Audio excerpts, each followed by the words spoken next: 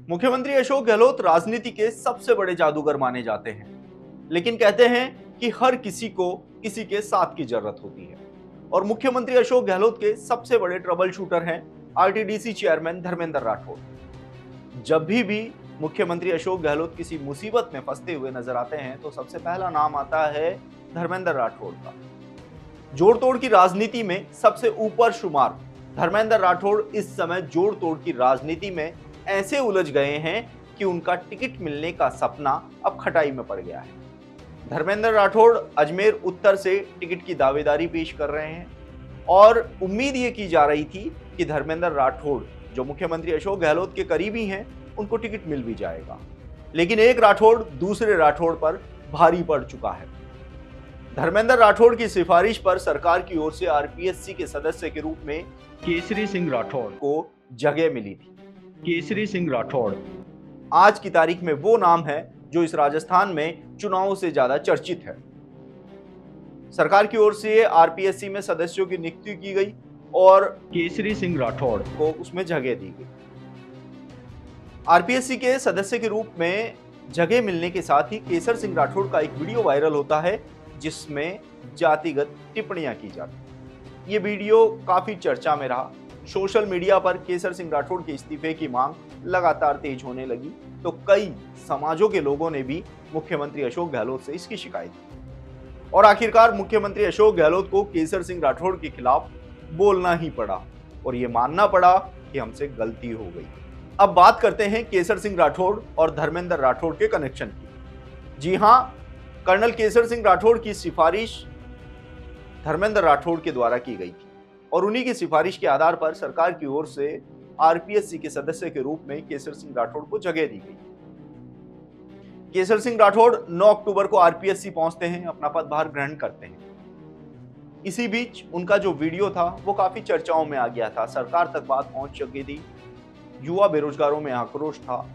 हर समाज जो था, वो इसका विरोध कर रहा था। 10 अक्टूबर को केसर सिंह राठौड़ किसी से बात करते हैं और अपना फ़ोन स्विच ऑफ़ कर लेते हैं और उसके बाद से वो अज्ञातवास में चले जाते हैं।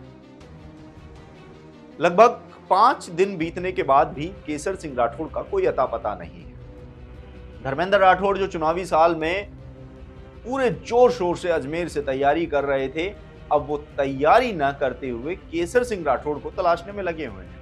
मुख्यमंत्री अशोक गहलोत ने कर्नल केसर सिंह राठौड़ को तलाश करने की ज़िम्मेदारी धर्मेंद्र राठौड़ को दी है और धर्मेंद्र राठौड़ इस समय अजमेर को छोड़ते हुए केसर सिंह राठौड़ की तलाश में जुटे हुए हैं। पिछले चार दिन से न वो कोई मीटिंग ले रहे हैं, न कोई प्रचार कर रहे हैं और न किसी कार्यकर्ता से मिल रहे हैं।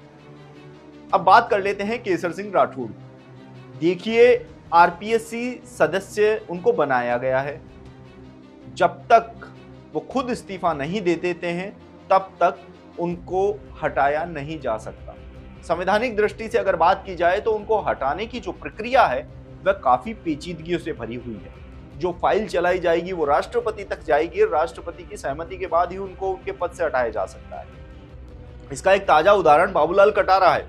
पेपर लीक मामले में सारे सबूत आने के बाद, उनकी गिरफ्तारी के बाद, इसके साथ ही ईडी से उनकी पूछताछ के बाद भी आज तक उनको पद से नहीं हटाया गया है, जिसकी वजह ये जटिल प्रक्रिया है। या तो सदस्य खुद अपनी चीज़ से इस्तीफा दे या उनको हटाना है तो उस जटिल प्रक्रिया से होकर गुजरना होगा, जो पूरी होने में काफ़ी वक्त लगता है और इसका ताज़ा उदाहरण बाबूलाल कटारा है। ऐसे में केसर सिंह के द्वारा दिया गया बयान और उसके बाद मुख्यमंत्री अशोक गहलोत की जो गलती स्वीकार करना है, वह इस मामले को तूल दे चुका है। इसके साथ ही विपक्ष के हाथ में एक दूधारी हथियार भी उन्होंने पकड़ा दिया है जो वो लगातार सरकार पर उससे वार किया जा रहा है। ऐसे में केसर सिंह राठौड़ जो अज्ञातवास में हैं, उनका पता नहीं चल रहा है। इसके साथ ही धर्मेंद्र राठौड़ जो उनकी तलाश में जुटे हुए हैं। मुख्यमंत्री अशोक गहलोत का स्वीकार करना कि केसर सिंह राठौड़ की सदस्यता को लेकर जो उनका फैसला था, वो गलत है। ऐसे में अब देखना होगा कि प्रदेश की इस उठापटक की राजनीति में क्या धर्मेंद्र राठौड़ एक बार फिर से मुख्यमंत्री अशोक गहलोत के लिए ट्रबल शूटर साबित होंगे या इस बार धर्मेंद्र राठौड़ का दाव उल्टा उन पर ही पड़ गया है। आप देख रहे हैं द नगरी न्यूज़, मैं हूँ ललित वर्मा।